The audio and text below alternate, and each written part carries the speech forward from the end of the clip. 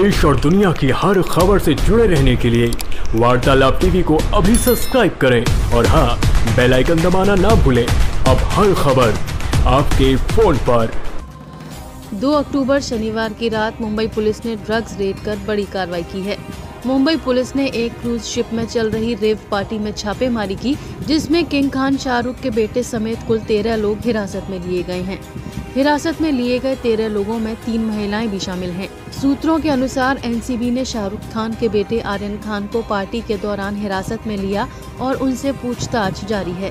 फ़िलहाल उनके पास अभी कोई ड्रग्स बरामद नहीं हुए हैं, लेकिन एनसीबी हर एक एंगल से पता लगाने की कोशिश कर रही है कि आर्यन इस केस में सीधे तौर पर जुड़े हुए हैं या नहीं। आर्यन का फ़ोन अधिकारियों द्वारा चेक किया जा रहा है। ये पता लगाने की कोशिश की जा रही है कि आर्यन ने ड्रग्स खरीदे या इस्तेमाल तो नहीं किए। इस ऑपरेशन को अंजाम देने वाले एनसीबी के जोनल डायरेक्टर समीर वानखेड़े का कहना है कि आर्यन खान पर अभी तक कोई केस दर्ज नहीं किया गया है। बहरहाल, एनसीबी ने एक बड़े मिशन को अंजाम दिया है और अभी पूरे मामले पर कुछ भी साफ़ नहीं कहा जा सकता। तमाम पूछताछ और जाँच के बाद ही पूरा मामला साफ़ देखा जा सकता है कि इसमें कुल कितने और कौन कौन लोग आरोपी हैं।